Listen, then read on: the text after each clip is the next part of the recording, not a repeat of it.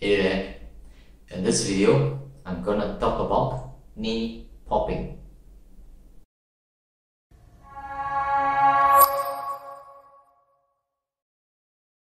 Hi, welcome back. This is Aw Wei, your exercise physiologist.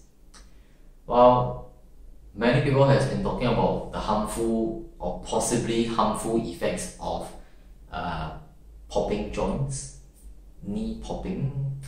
Um, and today I'm just going to talk about it. Basically, when you're doing it, um, and according to researchers, um, it's basically releasing of the air around the joint.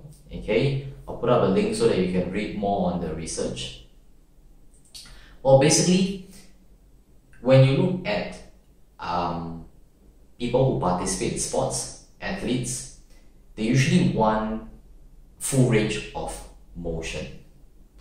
And when there is tightness around the joint, you will see them trying to do this. And after doing that, it actually increases the range of motion and they can actually move freely. So ultimately, this actually prevents injury because you are able to move freely in full range of motion rather than being restricted. So if you're able to do them yourself, you'll be able to find that after doing it, it actually releases tension, releases tightness around the area, and it actually does give you more range of motion, right? So to me, I've been doing this for like the past, what, 20 over years. Doesn't much give me any problem. So me saying that if you have been cracking your joints, popping your joints, it can actually be bad for the joints. I'm still here without any pain. So, well, it relates to people who have pop, uh, who have been popping their joints, right? Because when they keep popping and then when pain comes, then they relate to that and say, oh, you've been popping your joint, that's causing you the pain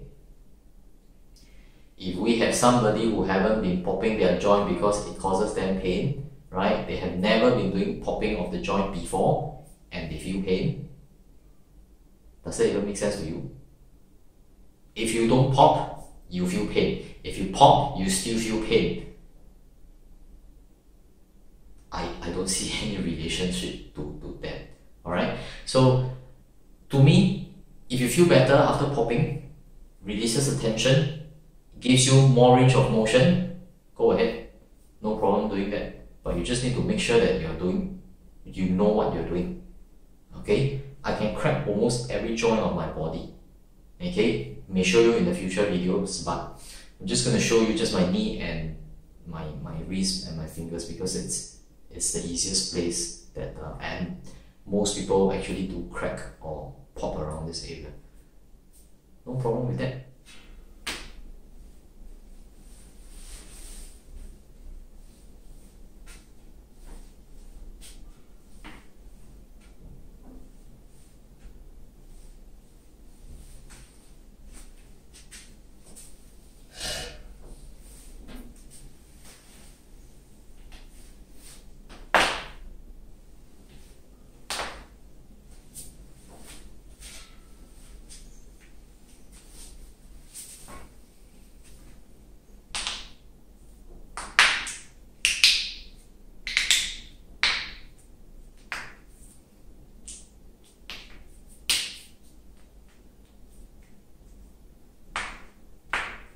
okay so go ahead.